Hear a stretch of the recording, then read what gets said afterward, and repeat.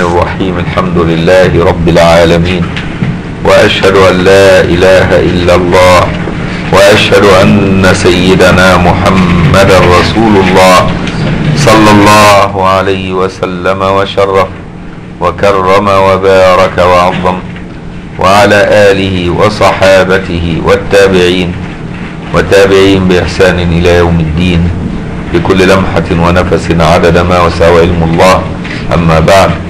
كتاب صحيح مسلم للإمام الحافظ الحجة أبي الحسين مسلم بن الحجاج بن مسلم القشير النيسابوري رحمه الله تعالى ونفعنا الله بعلوم وعلوم مشايخه وتلامذته وقراء صحيحه وشراحه في الدارين آمين. الباب الثالث من الكتاب الرابع والثلاثين كتاب الإمارة. باب النهي عن طلب الإمارة والحرص عليها. الإمارة من الدنيا الإمارة أمر من الدنيا ونحن منهيين أن نطلب الدنيا للدنيا. فالإمارة من جملة الدنيا فهي تسير مع مرادات الشارع من المكلف. فالشارع يطلب من المكلف ألا يطلب إلا الله سبحانه وتعالى. وبالتالي فالإمارة من الدنيا. فلما أمرنا ألا نطلب الدنيا للدنيا فلا نطلب الإمارة للإمارة. لأن من طلب الدنيا وكل إليها ومن طلب الله أعانه الله. فلا تحرص على شيء إلا على رضا مولاك. وبالتالي طلب الإمارة والحرص عليها يناقض مراد الشارع من المكلف. بإسنادنا المتصل عن مشايخنا جزاهم الله عنا خير للإمام مسلم في صحيحه. الحديث التاسع عشر بعد الثمانمائة والأربعة آلاف. قال حدثنا شيبان بن فروخ. قال حدثنا جرير بن حازم. قال حدثنا الحسن. قال حدثنا عبد الرحمن بن سمرة. الحسن هنا اللي هو مين البصري. الحسن هنا اللي هو الحسن البصري. ده أحسن. تفتكر سيدنا الحسن أخو سيدنا الحسين أبناء سيدنا علي ابن أبي طالب لأنه في نفس الطبقة. أحيانا يأتي في نفس الطبقة. لكن الحسن إذا أطلق في إيه؟ في طبقة التابعين أو الرواة عن الصحابة إذا أطلق الحسن يقصد من إيه؟ يقصد الحسن البصري. قال حدثنا عبد الرحمن بن سمرة رضي الله عنه قال قال لي رسول الله صلى الله عليه وآله وسلم يا عبد الرحمن لا تسأل الإمارة فإنك إن أعطيتها عن مسألة أكلت إليها وإن أعطيتها عن غير مسألة أعنت عليها. يعني ما قسمه الله لك دون أن تطلبه اعلم أن فيه الإعانة. أما ما حرصت أنت عليه فاعلم أن فيه شهوة نفسك. فلا تطلب شيء بشهوة نفسك. بل ما فتحه الله عليك فبها ونعمة. وما أغلق الله عنك فاحمد الله عليه. ولذا كانت من ضمن دعوات الدعوات الصالحة أنا لا أذكر لي دعوة سيدنا علي بن أبي طالب أم دعوة من النبي صلى الله عليه وسلم. لا أذكر. هي بين هذين. الله أعلم. قالها النبي أم دعوة من دعاء سيدنا علي بن أبي طالب. يقول اللهم ما يسرته لي مما تحب فاجعله عونا لي فيما تحب. وما زويته عني مما تحب فاجعله فراغا لي فيما تحب. فدي من الدعوات الجميلة. اللهم ما يسرته لي مما تحب. فاجعله عونا لي فيما تحب. وما زويته عني مما أحب. فاجعله فراغا لي فيما تحب. يبقى لا تسأل الشيء وتحرص عليه ولكن ما قسمه الله لك هو أفضل شيء لك.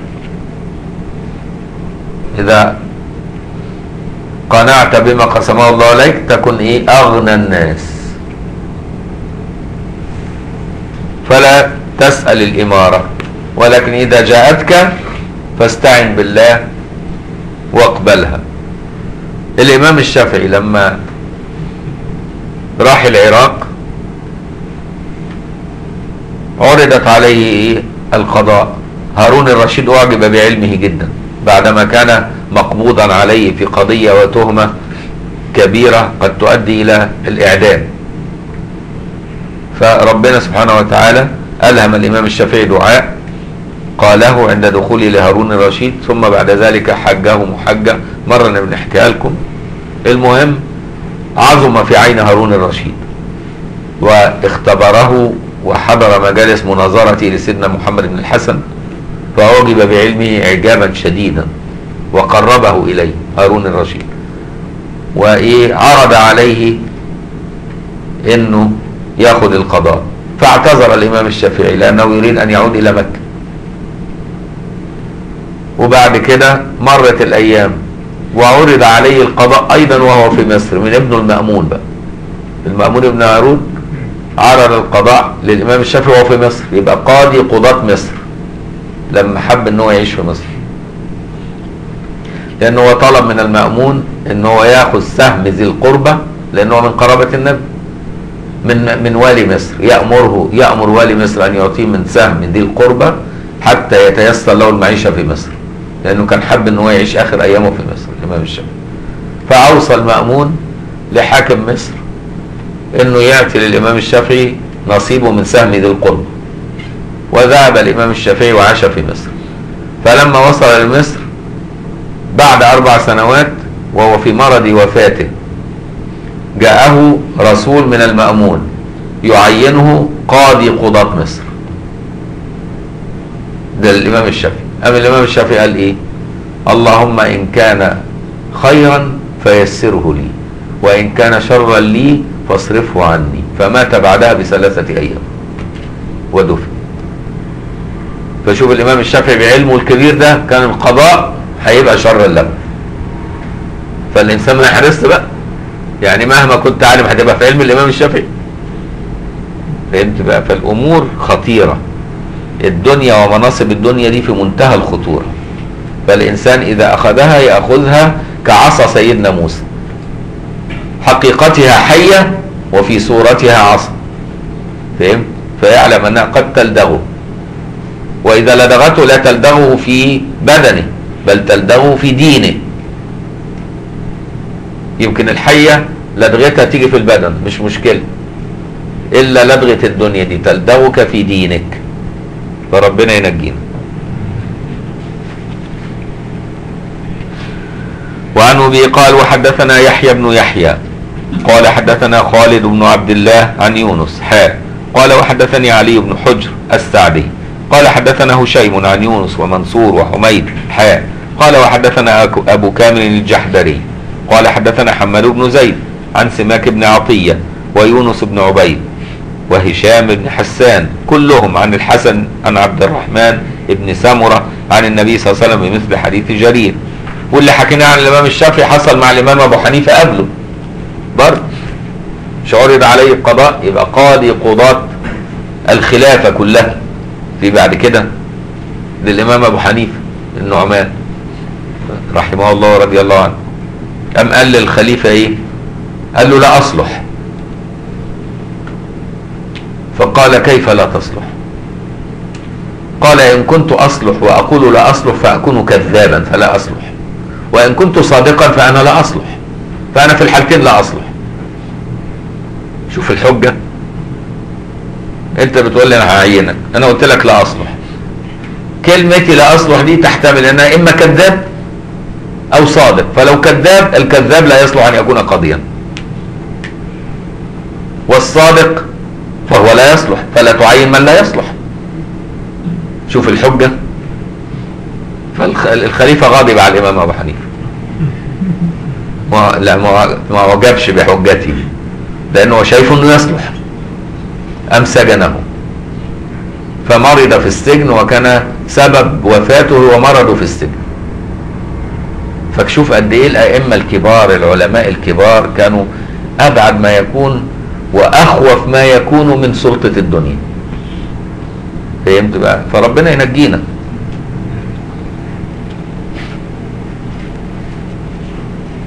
وعن ابي قال حدثنا أبو بكر بن أبي شيبة ومحمد بن العلاء قال حدثنا أبو أسامة عن بريد بن عبد الله عن أبي بردة عن أبي موسى قال دخلت على النبي صلى الله عليه وسلم أنا ورجلان من بني عمي. فقال أحد الرجلين يا رسول الله أمرنا على بعض ما ولاك الله عز وجل. وقال الآخر مثل ذلك. فقال إنا والله لا نولي على هذا العمل أحدا سأله. ولا أحدا حرص عليه. حرص. بفتح الراء هكذا هي الفصيحة. وإن كان لغة يجوز فيها كسر الراء حارصه يبقى اللغة يجوز فيها الفتح والكسر والفتح أفصح لأنه جاء به القرآن. ولو حرصتم فلا تميلوا كل الميل. لن تستطيعوا أن تعدلوا بين النساء ولو حرصتم فجاء بالفتح. فالقرآن جاء بالفتح فالفتح أفصح. لكن يجوز لغة حارصه بكسر الراء أيضا. وعن أبي قال حدثنا عبيد الله ابن سعيد ومحمد بن حاتم واللفظ لابن حاتم. قال قال حدثنا يحيى ابن سعيد القطان. قال حدثنا قرة ابن خالد. قال حدثنا حميد بن هلال. قال حدثني أبو بردة. قال قال أبو بردة مين؟ ابن ابن أبي موسى الأشعري؟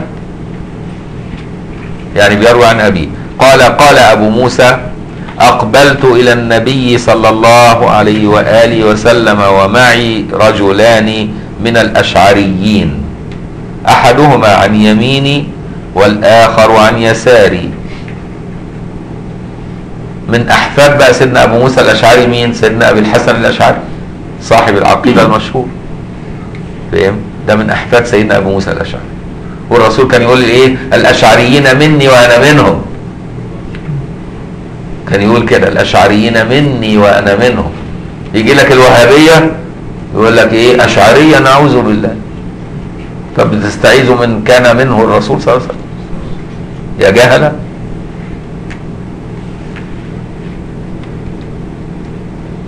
قال أبو موسى أقبلت إلى النبي صلى الله عليه وسلم ومعي رجلان من الأشعريين أحدهما عن يميني والآخر عن يساري فكلاهما سأل العمل. والنبي صلى الله عليه وسلم يست... يستاك. فقال ما تقول يا أبا موسى أو يا عبد الله بن قيس؟ اسمه اسمه عبد الله بن قيس وكنيته أبو موسى. قال فقلت والذي بعثك بالحق ما أطلعاني على ما في أنفسهما. وما شعرت أنهما يطلبان العمل. قال وكأني أنظر إلى سواكه تحت شفتي. وقد قلصت.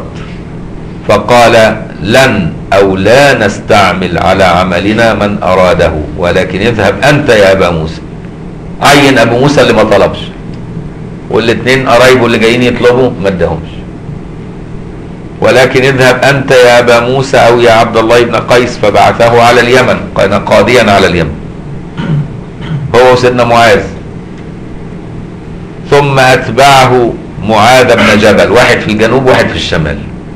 واحد يتولى جنوب اليمن والثاني يتولى شمال اليمن. والاثنين كانوا قضاة.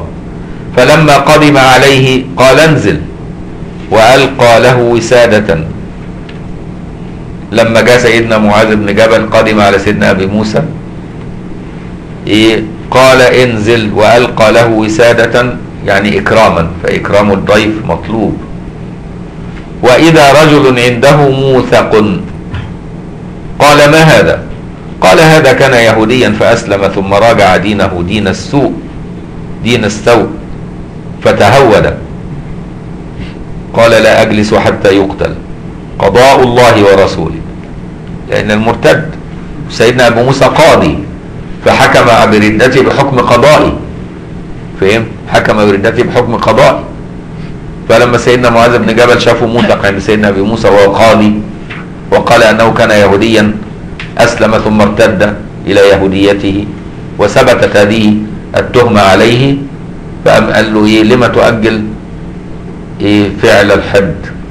لأن كان زمان أيام النبي صلى الله عليه وسلم ولي عصر قريب كانت السلطة القضائية والتنفيذية في يد القاضي الاثنين مع بعض. ولكن في الحكومات الحديثة فصلوا السلطات فجعلوا السلطة القضائية منفصلة عن السلطة التنفيذية وعن السلطة التشريعية. فكان القاضي في إيده السلطة التشريعية والتنفيذية والقضائية.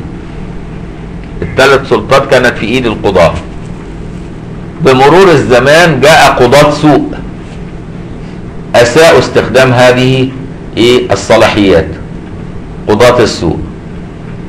فعلشان ينقذوا الناس من سوء قضاة السوء ففي الحكومات الحديثة قالوا نفصل السلطات. نخلي السلطة التشريعية منفصلة عن السلطة القضائية منفصلة عن السلطة التنفيذية حتى لا يكون هناك متحكم سيء واحد مستبد. فهمت بقى؟ لكن كان في العصر النبوي وعصر الخلافة وعصر الأمويين والعباسيين والأتراك كانت السلطات كلها مجموعة في يد واحد. واضح؟ علشان كده سيدنا أبي موسى قاضي حكم بردته فقال له نفذ الحكم؟ لأنه في إيده كمان السلطة التنفيذية. فهمت بقى إزاي؟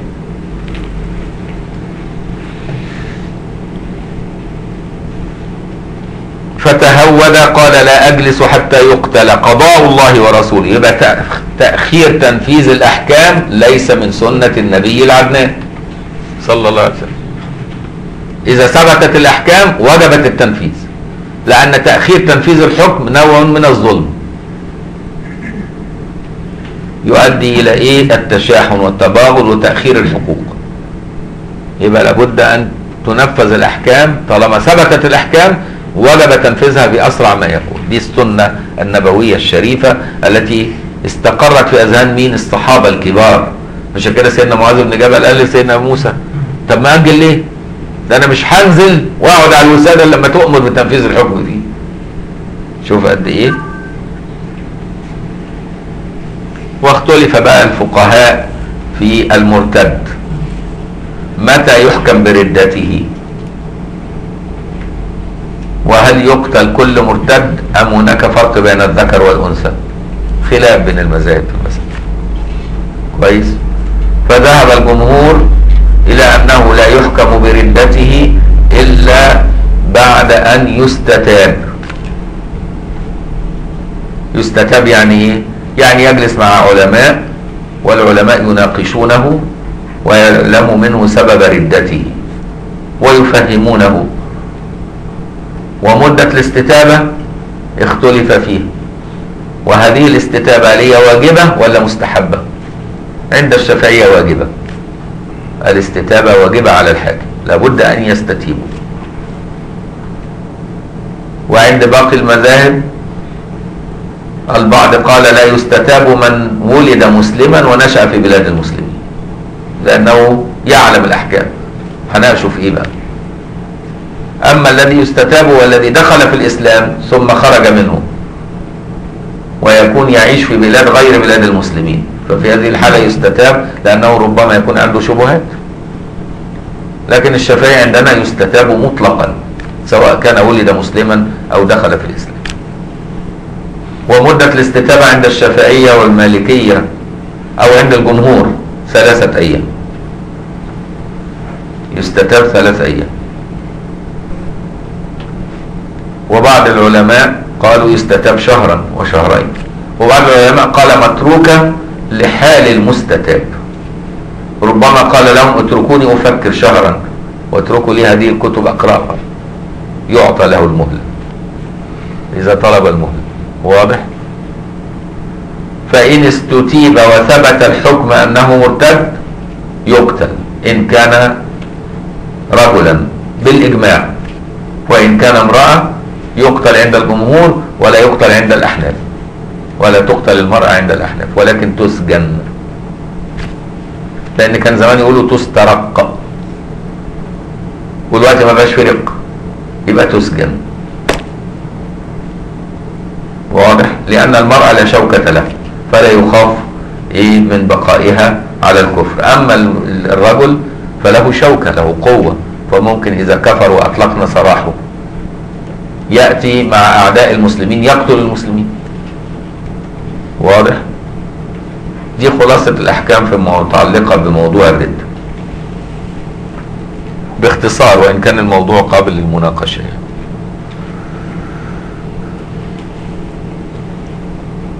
قال لا أجلس حتى يقتل قضاء الله ورسوله.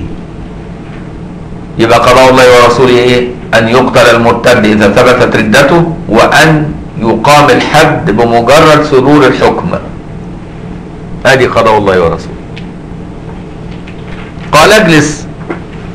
نعم.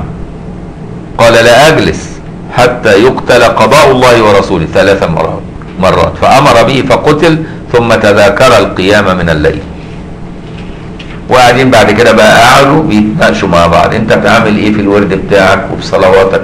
هل القضاء أخذ جزء من عبادتك؟ ولا تأثرت عبادتك بسبب الوظيفة وبسبب الأعمال؟ يعني إيه؟ ده دليل إنك انت ناصح إنك تعرف أحوال أخيك واحواله مع ربه وعمله في مع الله. هل قل بسبب منصب الدنيا؟ ولا الدنيا كانوا كانوا يحتاطون ولا تؤثر على علاقتهم بربهم؟ عشان كده قعدوا يتناقشوا. ثم تذاكر القيام من الليل. فقال أحدهما معاذ أما أنا فأنام وأقوم وأرجو في نومتي ما أرجو في قومتي.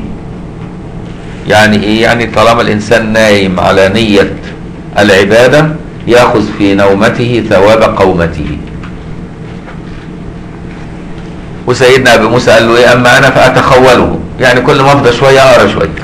كل شوية أفضى شوية أقرأ شوية. يعني مقسمه على طول اليوم والليل. ورد القراني يعني.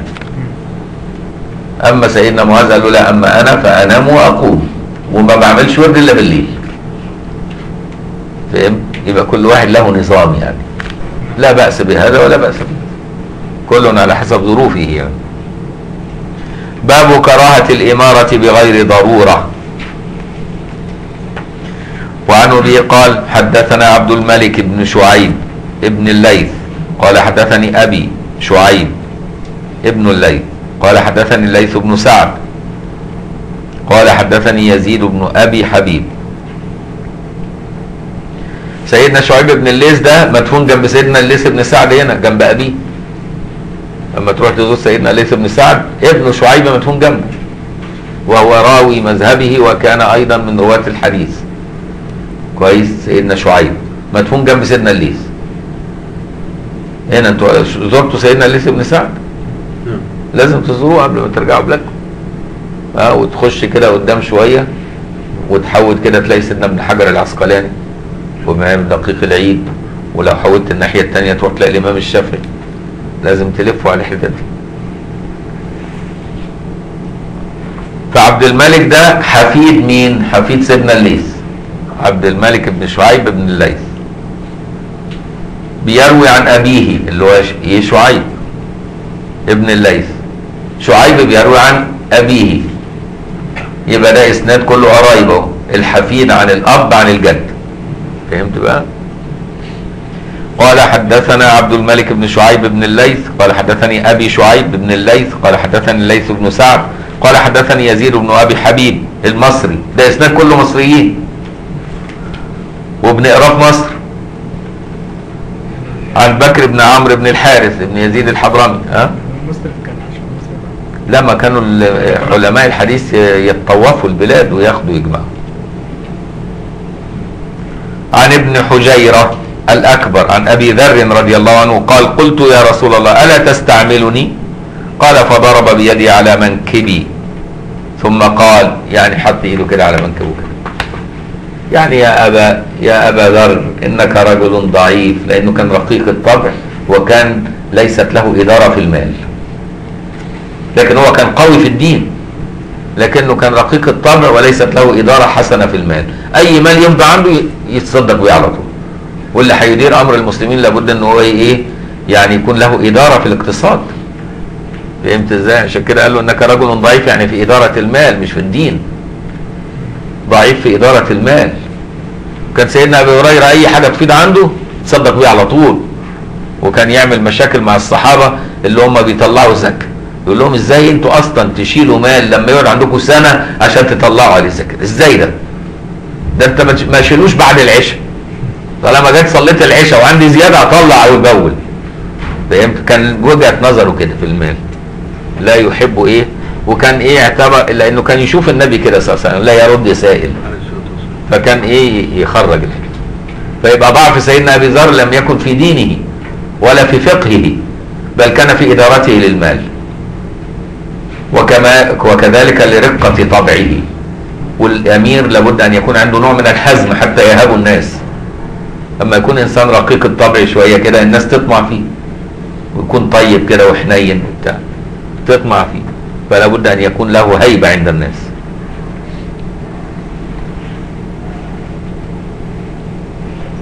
قلت يا رسول الله ألا تستعملني؟ قال فضرب بيدي على منكبي. ثم قال يا أبا ذر إنك ضعيف. وإنها امانه ضعيف يعني رقيق الطبع. فالناس قد تطمع فيك إذا تولت الإمارة فلا يحترم أوامرك ل- لتواضعك وشفقتك على الناس فيطمعوا فيك. وأيضا لا تحسن إدارة المال لأنك تحب أن تنفقه ولا تحب أن تمسكه. وولي الأمر لابد أن يكون له عنده إدارة للمال. ينفق للموجود ويدخر للمولود. إدارة للمال. إنك ضعيف وإنها أمانة وإنها يوم القيامة خزي وندامة إلا من أخذها بحقها وأدى الذي عليه فيها. وعن ابي قال وده يدلك على أن النبي ناصح أمين لأمته. هو بيحب أبي ذر. عشان بيحب أبي ذر لم يكلفه حاجة لا تناسب طبعه. هو طبعه ما يناسبوش ان هو يبقى يتأمر على الناس ويتسلط عليهم. هو رجل يحب يبقى رقيق الطبع كده هادي مع نفسه. وأيضا لا يحسن إدارة المال لأنه يحب أن ينفق ينفق ينفق. في صحيح في طرق الخير لكن هذه الطريقة إن كانت في ولي الأمر قد تؤدي إلى تبديد الثروة فالمولود يأتي ولا يجد ما ي- يأكله. فهمت بقى المسألة؟ وعن أبي قال حدثنا زهير بن حرب وإسحاق بن إبراهيم كلاهما عن المقرئ قال زهير حدثنا عبد الله بن يزيد. قال حدثنا سعيد بن أبي أيوب عن عبيد الله بن أبي جعفر القرشي عن سالم بن أبي سالم الجيشاني عن أبيه عن أبي ذر رضي الله عنه أن رسول الله صلى الله عليه وسلم قال يا أبا ذر إني أراك ضعيفا يعني رقيق الطبع. وإني أحب لك ما أحب لنفسي. لتأمر لا تأمرن لا تأمرن على اثنين. ولا تولين ولا تولين مال يتيم هيضيع مال اليتيم. طب سيدنا أبي ذر هيتولى مال اليتيم المفروض إنك أنت تستثمر مال اليتيم. وسيدنا أبي ذر عقليته وقلبه ليس لاستثمار المال بل لنفقة المال والصدقة به. فاهم؟ فقال الرسول صلى الله عليه وسلم قال له أنا أوصيك ما تتولاش أمر اتنين عشان ما يبقاش في حقوق تتعلق برقبتك يوم القيامة. ولا تتولى مال يتيم مخافة أن تنفق ماله ولا تستثمره فيضيع مال اليتيم دون أن تشعر. باب فضيلة الإمام العادل وعقوبة الجائر والحث على الرفق بالرعية. والنهي عن إدخال المشقة عليهم غدا إن شاء الله لأنه باب طويل نقرأه غدا إن شاء الله. اللهم علمنا ما ينفعنا وانفعنا بما علمتنا وزدنا علما. اللهم يسر أمورنا استر عيوبنا بلغنا مما يرضيك آمالنا. وفقنا يا ربي وسائر المسلمين لما تحبه وترضاه يا رب العالمين. اللهم بلغنا رمضان وأعنا على ذكرك وشكرك وحسن عبادتك وتلاوة القرآن وبارك لنا في أوقاتنا وأعمارنا وما أقمتنا فيه يا رب العالمين وأعنا على ذكرك وشكرك وحسن عبادتك ما حيينا وتقبل ذلك منا وأقبلنا إليك على أكمل حال من الإيمان والإسلام والإحسان يا رب العالمين وألحقنا بنبينا على أكمل حال يا رب العالمين وشفعه فينا واحفظنا في أنفسنا وفي ذريتنا من بعدنا إلى يوم الدين يا رب العالمين حتى نلقاك وأنت راض عنا. إن الله وملائكته يصلون على النبي. يا أيها الذين آمنوا صلوا عليه وسلموا تسليما. اللهم صل على سيدنا محمد عبدك ورسولك النبي الأمي وعلى آله وسلم. اللهم صل على سيدنا محمد عبدك ورسولك النبي الأمي وعلى آله وسلم. اللهم صل على سيدنا محمد عبدك ورسولك النبي الأمي وعلى آله وسلم. عدد خلقك